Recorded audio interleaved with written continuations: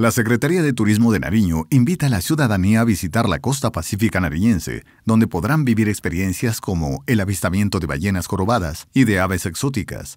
Además, practicar buceo y disfrutar de la gastronomía inspirada en la comida de mar. Entre los meses de julio y octubre cada año, las ballenas jorobadas, luego de recorrer 8.500 kilómetros desde la Antártica y el sur de Chile, llegan a la costa pacífica colombiana. Quienes disfruten de este maravilloso fenómeno de la naturaleza tengan en cuenta contratar operadores turísticos formalizados, quienes portarán en las embarcaciones un banderín de color azul con los distintivos de autorización de avistamiento de ballenas. Participar en la charla de exposición sobre avistamiento responsable brindada por Parques Nacionales Naturales de Colombia. Estar acompañado por un intérprete local.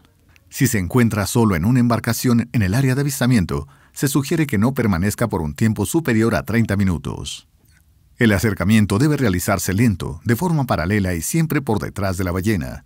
Es indispensable tener una distancia de 200 metros sobre los individuos y usar chalecos salvavidas mientras permanezca en la embarcación.